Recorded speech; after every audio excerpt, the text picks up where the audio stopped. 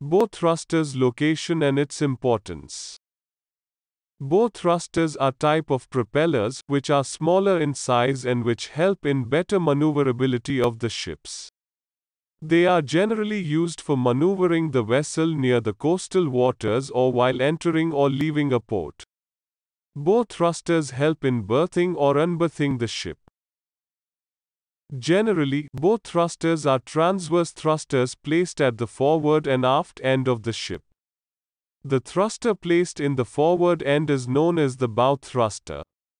And the one placed in the aft is known as the stern thruster.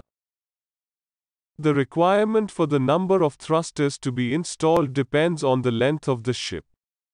Advantages of bow thruster better maneuverability at low speeds of the ship. Safety of the ship increases when berthing in bad weather. Saves money due to reduction of stay in port and less usage of tugboats.